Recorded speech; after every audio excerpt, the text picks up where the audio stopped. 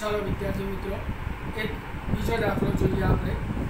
અહીંયા આપણને રકમમાં આપેલું છે કે છ વડે વિભાજ્ય પ્રથમ ચાલીસ ધન પૂર્ણાંકોનો સરવાળો શોધવાનો છે. એનો મતલબ એવો થાય છે કે તમારા જોડે એવી ચાલીસ સંખ્યાઓ હોવી જોઈએ, જેને પ્રથમ ચાલીસ તમારે લેવાની છે.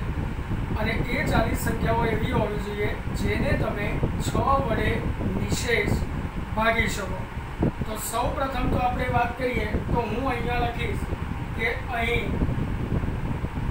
છ વડે છ વડે વિભાજ્ય પ્રથમ ચાલીસ ધન પૂર્ણાંકો ધન પૂર્ણાંકો એક તો પહેલા હું લઈશ છ, કારણ કે છ એકા છ, એને આપણે ભાગી શકીએ. છ દુ બાર, છ તરી અઢાર, છ ચોક ચોવીસ. તો આમ કરતાં કરતાં તમારે ચાલીસ ધન પૂર્ણાંકો લાવવાના છે. તો છ વડે વિભાજ્ય હોય. એટલે અહીંયા હું લખીશ બસો ને ચાલીસ. હવે તમને એવું થાય કે સરે બસો ચાલીસ કેવી રીતે કેવી રીતે લખી દીધા સીધા? તો અહીંયા હું તમને બતાવું. કે છ વડે વિભાજ્ય છે અને તમારે ચાલીસ પૂર્ણાંકો લાવવાના છે. તો ચાલીસ ગુણ્યા છ કરીએ તો ટોટલ અહીંયા બનવાના છે બસો ને ચાલીસ. તો આપણે અહીંયા જોઈશું તો ચાલીસ પૂર્ણાંકોમાં છેલ્લો પદ આવશે આપણું બસો ને ચાલીસ. હવે આની અંદર જોઈએ. તો પ્રથમ પદ પ્રથમ પદ,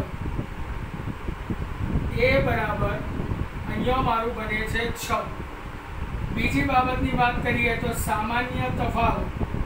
સામાન્ય તફાવત ડી બરાબર બાર ઓછા છ. ઇઝ ઇક્વલ ટુ પણ સિક્સ બનશે. અને અંતિમ પદ એ n is equal to l બરાબર બસો ચાલીસ. હવે આપણે એસએનનું સૂત્ર મૂકીએ.